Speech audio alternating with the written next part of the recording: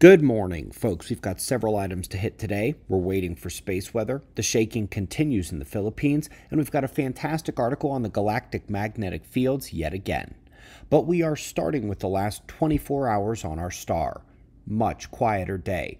The massive coronal hole is turning across the disk, surrounded by plasma filaments. A few filaments had minor releases, but they were around the limb, not much else. Sunspots are turning to the far side.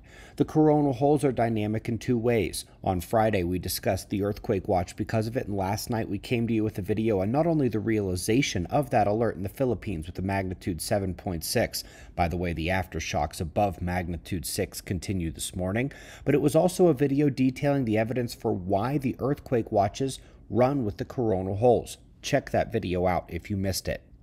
The other aspect of coronal holes is their solar wind. Faster streams emanate and can trigger geomagnetic storms just like a solar flare in CME, and the solar wind enhancement from this one on the sun right now is expected to arrive within 36 hours. We will be watching for that. Top science article today hits the galactic magnetic fields yet again, seen several of these recently. They use the spiral arm instability wording, but it's all the same in physical character, with interim peaks and valleys, so much more detailed magnetic undulations than just what you find with the spiral arms.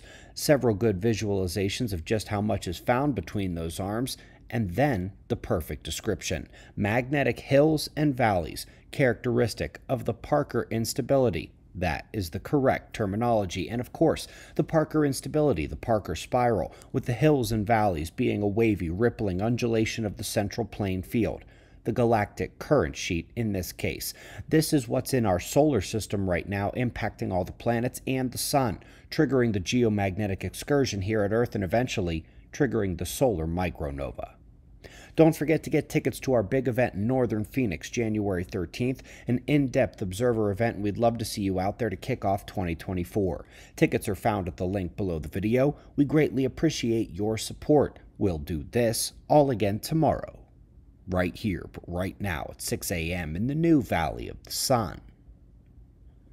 Eyes open, no fear. Be safe, everyone.